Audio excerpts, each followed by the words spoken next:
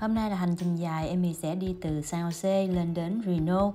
Reno thì thuộc phận địa của bang à, Nevada. Từ San Jose đến Reno thì Amy mất khoảng là 4 tiếng đến 4 tiếng rưỡi lái xe. Lý do là Amy đi đến Reno là để xem nhà và đất, rồi sau đó ký giấy tờ để nhận. Tháng này thì vào tháng 10 nhưng thời tiết rất là còn nắng nóng lắm nha. Ở Reno thì có hai mùa rất là đặc biệt, đó là mùa đông và mùa hè. Mùa đông thì các bạn cũng biết mùa đông thì rất là lạnh luôn, nó sẽ có tuyết rơi, còn mùa hè thì rất là nắng nóng luôn. Khu vực này thì lúc xưa rất là hoang sơ, không cây cỏ, không nhà cửa, chỉ là một vùng đất rất giống như là một cái sa mạc gần núi vậy đó. Vài năm trở về sau này thì người ta xây cất thêm nhà cửa rất nhiều và mọi người đổ về đây sinh sống cũng nhiều, rất là tấp nập luôn đó. Hello mọi người, bây giờ hiện tại Amy đang ở trước cái à, cái bãi đất trống này nè. Thì cái bãi đất trống này em mì à, hôm nay sẽ à, tới để mà mình ký cái, cái giấy tờ giấy tờ để mà mình mua cái cái miếng đất này để mình xây cái nhà lên đó. Hiện tại thì bây giờ là chỉ là một bãi đất trống thôi thì à, xung quanh thì các bạn cũng thấy là những cái ngôi nhà là họ mới xây thì à, cũng có người vào ở rồi. Cái mấy những cái ngôi nhà đó thì đã có người mua và có người ở. Còn cái à, cái khu đất trống này thì họ sẽ à, xây cái nhà lên theo ý muốn của mình nha.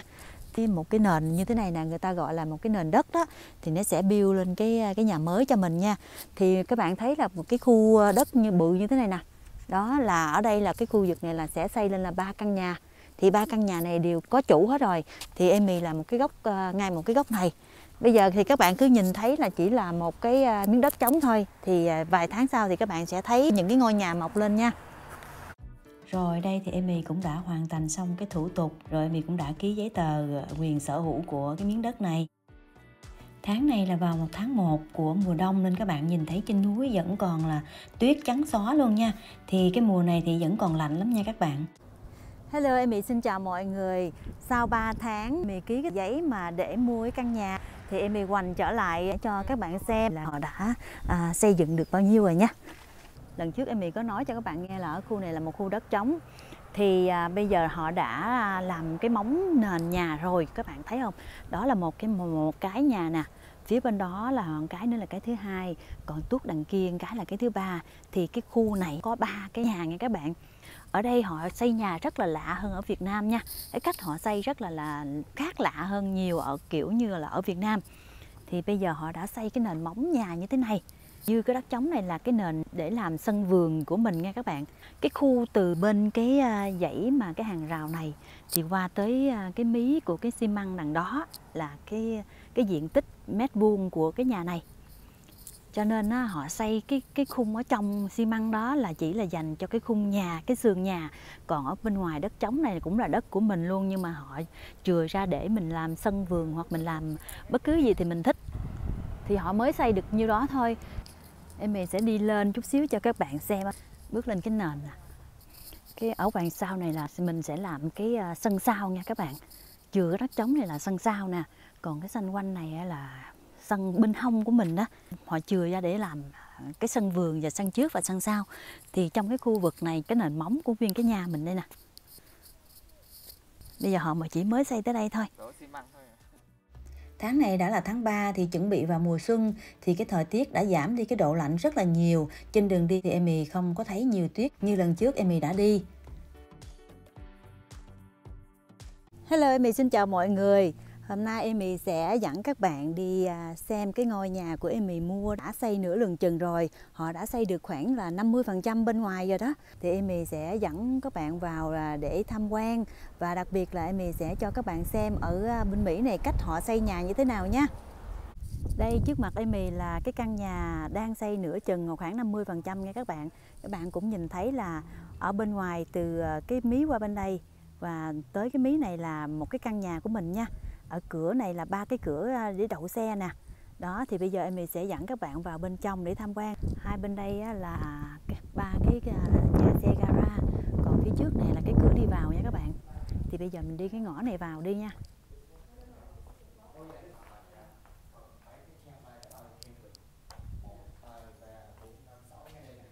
Cái nhà xe cũng rất là rộng rãi luôn đó. Ba chiếc xe mình có thể đậu được trong này luôn thì ở trên này thì họ cũng đã gắn những cái đường dây à, đèn đó, dây điện rồi. Ở xung quanh đây mì hoàn toàn là bằng gỗ. Thì tại sao ở bên Mỹ này họ chuyên gia dùng gỗ để xây nhà? Với cái lý do là tại vì ở Mỹ này có nhiều cái à, cái trận động đất à, nhiều khi những cái trận động đất tới nhiều khi rất là lớn nên người ta hoàn toàn xây nhà bằng gỗ để tránh những cái tình trạng mà khi động đất tới đó thì lỡ mà có nhà nó có sập hay gì đó thì không ảnh hưởng đến tính mạng của người dân. Nên họ dùng gỗ để à, xây nhà để à, an toàn hơn. Thì không phải là tiểu bang nào cũng là có trận động đất nha các bạn. Mỗi tiểu bang đều có những cái à, cái bão lụt hoặc cái động đất đều khác nhau. Hiện tại thì mình ở California và ở Nevada thì luôn có những cái trận động đất nó xảy ra thường xuyên, thì à, mỗi trận động đất thì à, tùy theo ờ, nhẹ hoặc là nặng thì người ta luôn đem cái sự an toàn lên cái hàng đầu nên họ dùng những cái ờ, à, thanh gỗ như thế này để họ xây nhà. Thì em cho các bạn xem xanh quanh là toàn là, hoàn toàn là gỗ không nha. Không giống như là xây nhà ở Việt Nam đâu. Việt Nam mình là xây nhà là bằng xi măng hoặc là bằng đá bằng sắt nên nó rất là nặng nề mà khi mà lỡ mà có cái trường hợp mà giống như là động đất hay là bão lụt đều à, đều rất là nguy hiểm cho sinh mạng của con người. Ừ, mình làm tới 8 9 cái lần. Đó. Cái này là cái phòng bếp nè, cái phòng bếp và cái phòng ăn ở đây là cái đường này là thêm một cái phòng tắm nữa nè bên trong này là phòng ngủ nè ừ trên này thì nó gắn đèn xong hết rồi. Ừ. Cái phòng này bự quá ha.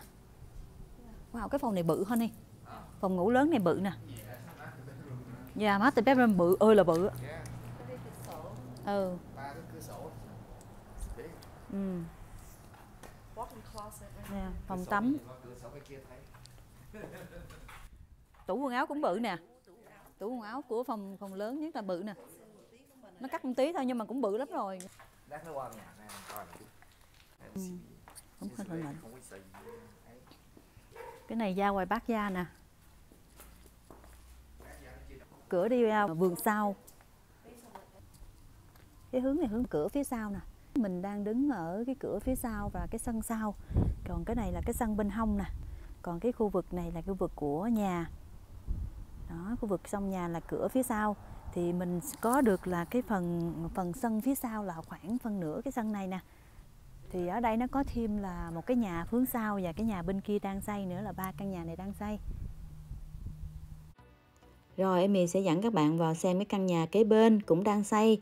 Cái căn nhà này thì có diện tích nhỏ hơn căn nhà của Amy một chút xíu, nhưng mà mẫu mã đều giống nhau. Hôm nay thì Amy đến tham quan thì nhằm vào ngày Chủ nhật thì nhân viên, à, những người làm xây nhà thì họ không có làm việc, họ không có làm ngày Chủ nhật cho nên mình có thể đi vào tham quan thoải mái.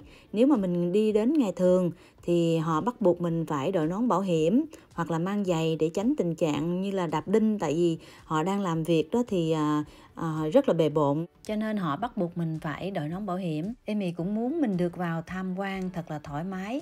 Cho nên Emmy đã chọn cái ngày chủ nhật để mình được à, tung tăng như thế này nè. Thì bây giờ Emmy đang tung tăng ở trong ngôi nhà hoàn toàn là gỗ không nha các bạn?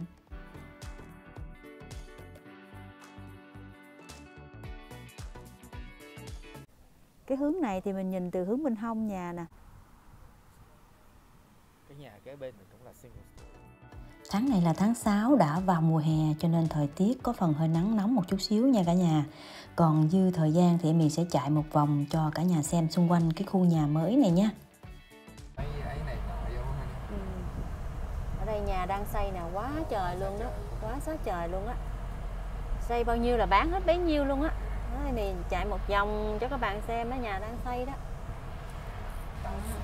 Đây nhà quá trời nhà không? Nhà xây nè ừ. bên này thì ở vô hết rồi đó bên này là ở hết rồi đó ừ. bạn thấy là quá trời nhà luôn ha nhà là càng xây nhiều là người ta lên đây càng mua nhiều á nên nhiều lắm nhiều lắm nhà xây nhiều lắm luôn cho nên khu này sau này nữa đông đúc lắm nhộn nhịp lắm. Tại vì khu này á à, mì sẽ lái xe ra khoảng 5-10 phút là tới nguyên một cái shopping mall luôn. Nó bán giống như là ngoài đó nhiều thứ lắm ăn uống rồi chợ shopping là tùm lum hết á. Nên nó rất là tiện luôn. Các bạn thấy trong này không? Xung quanh thường thì ở trên này khu trên này người Mỹ ở nhiều lắm nha. Người Mỹ rất là nhiều.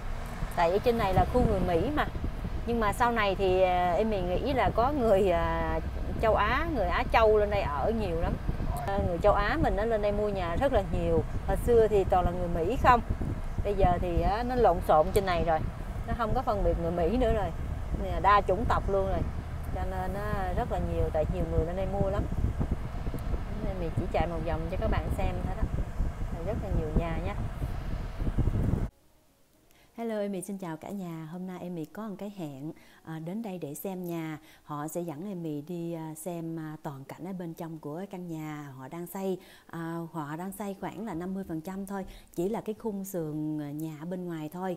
Thì họ sẽ dẫn mình đi coi cái cách mà họ xây nhà đó. Thì mình coi và mình xem kỹ à, xem ở bên trong nhà họ xây đó có cái vấn đề gì không. Thì mình sẽ nói với họ nếu mà có cái vấn đề gì mà mình có thể nói cho họ biết trước để có gì họ sẽ sửa và họ sẽ làm lại cho trước khi họ à, xịt những cái à, bột mà để lắp cái cái khung à, sườn của cái nhà đó à, mình gọi là gọi là xi măng.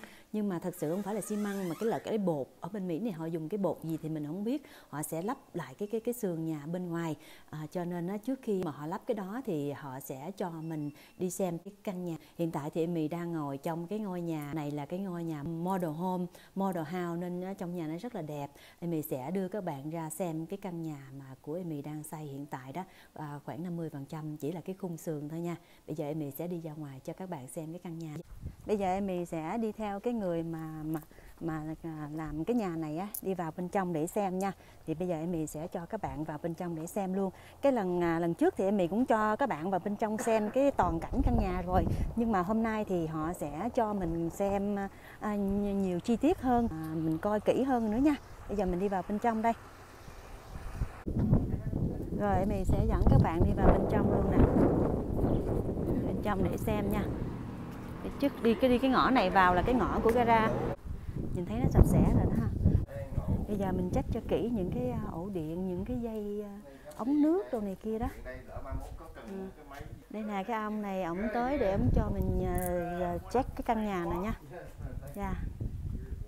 So uh, we should be having last within uh, within a week or so. That's that's it right there. So, as you can Oh, it's- okay. it's been dropped off. My name is Michael. Pleasure to meet you. Pleasure. Ngày hôm nay Amy có cái hẹn lên để xem nhà thì nhằm vào ngày thứ hai nhưng mà vào ngày lễ ở bên Mỹ này những người làm nhà họ được nghỉ à, nghỉ lễ hôm nay vì vậy mà Amy vào xem thì không cần phải đội nón bảo hiểm bây giờ mình ổng sẽ dẫn mình đi check từ từ Um, okay, this is going to be a stand. Here's an upgrade check cái bên ngoài trước, những cái dây điện ở bên ngoài này trước. Sẽ nói mình đi xung quanh cái cái cái bên ngoài. Đó bên ngoài là mấy cái cái đường ống điện như thế này nè. Lại mì đặt thêm họ để họ làm thêm ở bên ngoài để mình có cái đường dây điện bên ngoài để mình có thể gắm gắm đường dây điện bên ngoài. Bây giờ mình đi vòng qua phía sau. Cái này phía sau ờ, của cái sân nè.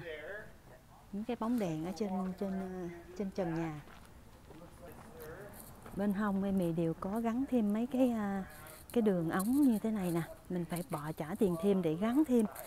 Tại vì thường là mấy cái đó là mấy cái offer thêm nên mình mình phải bỏ tiền thêm để cho họ gắn. Ở đây có cái cửa bên hông cái cửa bên hông của gara nữa nè. Đây có một cái cửa nữa. Đây là cái cửa bên hông gara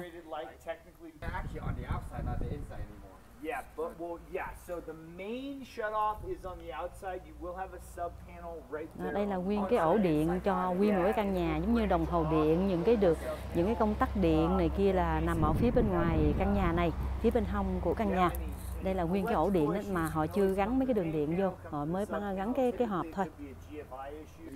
Đó là chỗ đưa đường ống nước. Nó sẽ cho, ờ, dùng cho nguyên căn nhà. Mà họ làm ở ngoài gara như chỗ này là cái cái hộp để ở ngoài gara như vậy. Nguyên một ống nước nguyên một cái đường ống nước nằm ở đó luôn. Plug for recirculate is going to be located right over here. Em bị có làm thêm mấy cái ổ điện. Mình cần cái ờ, tủ lạnh ở ngoài gara đó. mình trả tiền thêm để mình ta gắn thêm mấy cái ổ điện đó cho mình.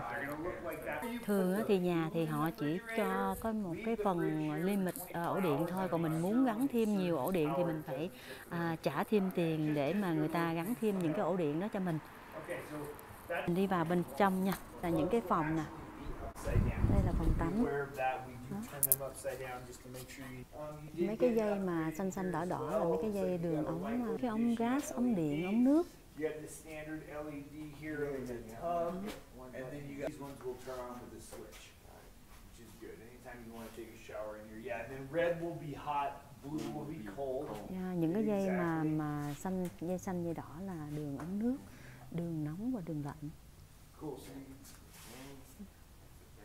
the drain, correct, and they obviously have. They're over. Okay, so Oh. yeah, it, it's not an HVAC duct. It just helps the air circulation in the cái helps đó là là là cái cái cái cái cái đường ống mà cho air nó nó nó, nó lọc vào um, không khí á, cái phòng giặt đồ ở trong đó. Um, it is nice to have, 'cause some people don't prefer Đó là dây à, cái màu xanh màu they đỏ là dây the à, dây đường nóng đường lạnh Um, thì họ đã chìm hết ở trong cái kho mấy cái dòng dòng đó hết rồi.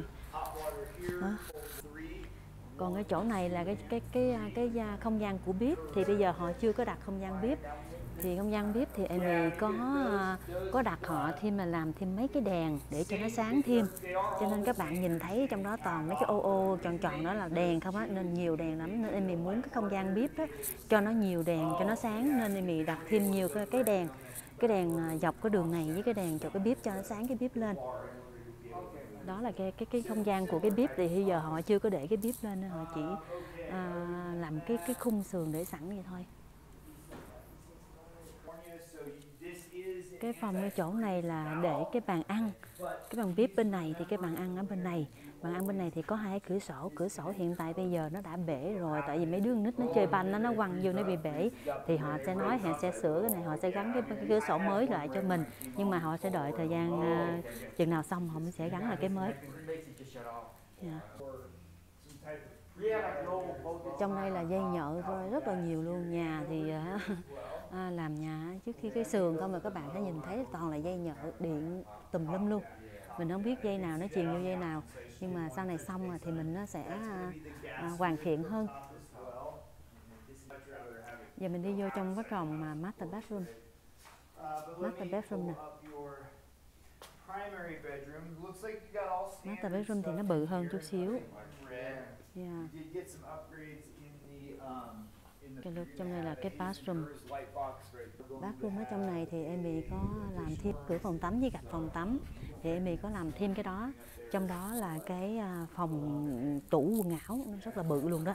Khi mà mình mua nhà mới mà đang trong tình trạng mà xây dựng như thế này đó thì công ty họ luôn có sự bảo hành cho mình từ 1, 2 đến 10 năm nha các bạn. Một năm đầu thì họ bắt buộc phải ở trong căn nhà này để xem trong căn nhà nó có cái vấn đề gì hư thì họ sẽ cho người đến sửa chữa hoặc thay đổi ngay liền cho mình luôn nha. Còn từ 2 đến 10 năm sau thì có những cái bảo hành khác về từng phần. Sau khi mà mình xây xong á, thì mình ký giấy tờ giao nhà thì họ sẽ cho mình biết thêm cái chi tiết về những cái à, à thành phần mà bảo hành của cái 2 đến 10 năm đó nha các bạn. Hướng phía bên này phòng khách. Cái phòng khách thường nhà mà người ta người ta có làm cái uh, fireplace là cái gọi là cái lò sưởi đó nhưng mà em mì không có làm cái lò sưởi em mì để trống không vậy? Mai mốt sau này về em mì sẽ làm cái kệ tủ để ờ, uh, tivi à, ờ, nhìn nó đẹp hơn cái lò sưởi. Tại vì mình không có dùng lò sưởi cho nên nhìn nó à, rộng rãi. Nếu mà làm lò sưởi thì nó sẽ chật lên một chút xíu. Rồi mình đi qua cái phòng cái bên nữa đây cái phòng khách nữa cái này em mình dùng là làm một cái phòng khách hoặc là cái phòng ờ, office, cái phòng ờ, văn phòng để mình làm việc. Cái phòng này rất là rộng. Ở đây là hai cái phòng đối diện với nhau chung với một phòng tắm. Đây là phòng tắm nè. Đó. Còn hai phòng đối diện nhau phòng thì đo, xây mặt ra về phía đường phần thì nằm chính giữa bên này. Thì ờ, cái căn nhà này em mì làm ra được là tổng cộng là 5 phòng ngủ. Rất là bự luôn, rất là rộng tại vì mình làm à, nhiều phòng ra nhiều khi có khách hay là có anh chị em tới nhà chơi thì cũng có phòng để mình ngủ lại qua đêm cũng được. Nên cái nhà này thì em mì làm ra là năm phòng ngủ.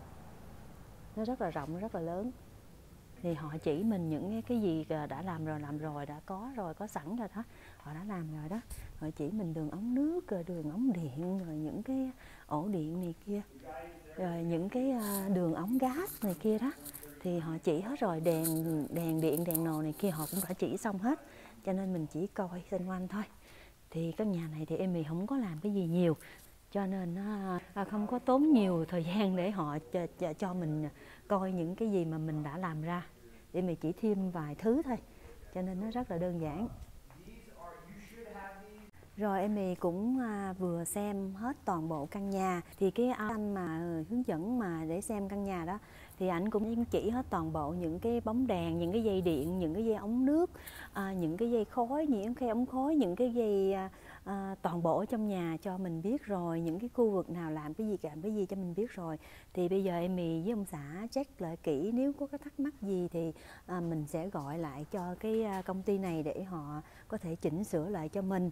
Thì à, bây giờ thì à, cái người mà dẫn mình vào đây coi đó thì họ đã xong rồi thì họ đã đi về rồi. Thì bây giờ mình à, có quyền mình đi vòng vòng ở trong này mình coi kỹ lại những cái ngõ ngách nào mà mình à, chưa có coi kỹ đó thì mình sẽ xem kỹ lại à, để mình coi coi mình cần làm những cái gì thêm nha thì ông xã em mì đang đo những cái ờ, khúc gỗ này nè, để sau này mà họ xịt cái cái bột lên, trắng lên rồi đó, là nó bít lại rồi thì mình không có biết được là cái cái ống nước hoặc là cái ống điện nó nằm chỗ nào. Nên ông xã em mì ờ, đo trước để mình biết, để sau này mình về mình có lỡ mình khoan khoan hay là mình gắn gì á, mình không có trúng vô mấy cái ống điện, ống nước. Thật ra em mì thì cũng không biết mấy cái này lắm đâu, không rành mấy cái này lắm đâu à, thì cũng chỉ coi vậy thôi chứ thật ra mình coi thôi chứ mình cũng đâu có rành mấy cái vụ mà nhà cửa mà đèn này kia đâu ha. Giờ mình đi vòng vòng mình coi thôi. Thì căn nhà thì nó rất là rộng các bạn cũng nhìn thấy là nó rất là rộng luôn. À, nhà này thì em đã làm ra chia ra làm thành 5 phòng nên nó, nó rất là rộng rãi luôn nha các bạn. Em đi xung quanh để xem tiếp cái trong cái căn nhà này. Xã em đang check xung quanh coi những cái cột nào nó có điện để để không ghi xuống để không nhớ để sau này ông lỡ ông khoan không có trúng dây điện như này dây kia giờ để cho ông uh, à, à, check một chút xíu nữa rồi mình uh, sẽ đi về. Mình đi xung quanh vậy thôi. Ở đây là ổ điện nó nằm ở dưới hết à? Chỉ có mấy công tắc điện thì nằm ở trên chút xíu thôi chứ thật ra thì mấy cái ổ điện nó nằm ở dưới. Mấy cái đường ống điện thì uh, nằm ở trên mà cái uh, mấy cái công tắc điện mà ổ cắm điện rồi là nó nằm ở dưới. Cho nên nó cũng dễ hơn là là là mình, khi mình khoan mấy cái ờ, mấy cái ờ, tường thì mình gắn đồ thì nó cũng dễ. Ở đây là cái bếp, cái đây là dàn bếp. Dàn bếp họ chưa có gắn dàn bếp lên, cho nên mình thấy mình trống lỏng mà. Ở đây là cái kệ bếp nè. Đó, cái kệ mốt họ gắn bếp lên, đây là đường ống nước, ống này ống kia. Chỗ này là cái xin giữa chén đó, nên ờ, có mấy cái đường ống nước này hết rồi. Họ làm sẵn vậy mai mốt họ gắn lên thôi. Đây là cái kệ. Cũng coi kỹ đầy đủ hết rồi, nhưng mà còn sau này thì họ xịt cái cái bột trắng lên thì để xem sao thì mì cũng đã xem thì ông xã em mì cũng đã check toàn bộ và cũng đã xem xét lại hết rồi. Thì à, lần này thì Amy đã cho các bạn xem xung quanh cái căn nhà mà Amy đang xây khoảng 50% đó. Thì lần tới thì Amy sẽ lên nhiều lần nữa để xem cái căn nhà này nó hoàn thiện tới đâu. Thì lần tới thì căn nhà sẽ được uh, xịt cái bột trắng lên xịt giống như cái xi măng lên. Vậy Amy nói xi măng thôi nhưng mà không phải xi măng. Xịt cái bột trắng lên để lắp toàn cảnh toàn khung uh, khung gỗ này của cái căn nhà thì Amy sẽ cho các bạn à, xem tiếp cái video lần tới về cái căn nhà mình sẽ làm tới đâu nha thì cái video lần này thì Amy xin tạm ngừng tại đây và mong các bạn à, yêu mến và theo dõi à, ủng hộ cho Amy Việt Channel nha. Amy xin tạm biệt các bạn và hẹn gặp lại trong cái video lần sau nha.